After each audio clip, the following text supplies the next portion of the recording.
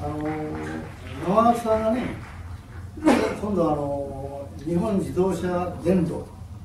これはね、あのあのアメリカのあれですか、デトロイトにですね、日本にあるんですけどね、例えばもらった人でとね、本田宗一郎とかね、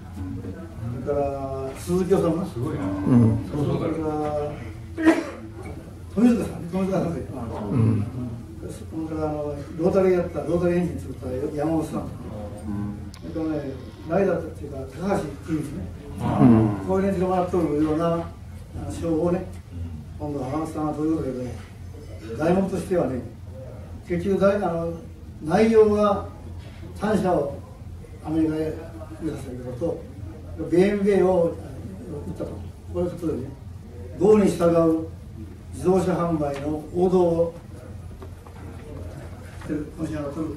あの Z1 回一度ということで電報を出してもらいますけどもよろしくお願いします。ありがとうございます